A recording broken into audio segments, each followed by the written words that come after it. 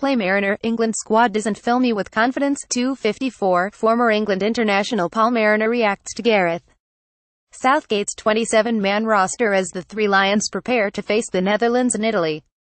254, 10.30 p.m. BST Gareth Southgate's attempts to hone England into a World Cup winning squad has extended to a ban on food being served at the Starbucks cafe inside the team hotel at the National Football Centre.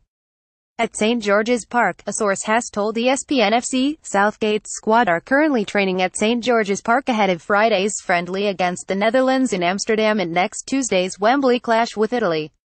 But players linking up with the squad this week have discovered that the Starbucks cafe within the Hilton Hotel which houses the team during international breaks has had all food removed from display for the duration of the England get-together.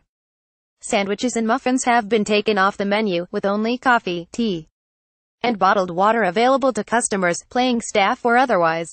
Starbucks staff have also been told not to serve syrup in cappuccinos for the players.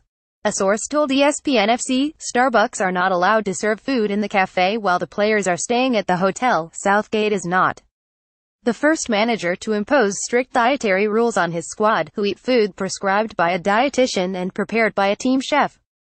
Fabio Capello took tomato ketchup off the menu during his spell in charge of the England team, while David Moyes was criticised by Rio Ferdinand for ending the tradition of oven chips for Manchester United players on the night before games during his brief reign as Old Trafford manager during the 2013-14 season.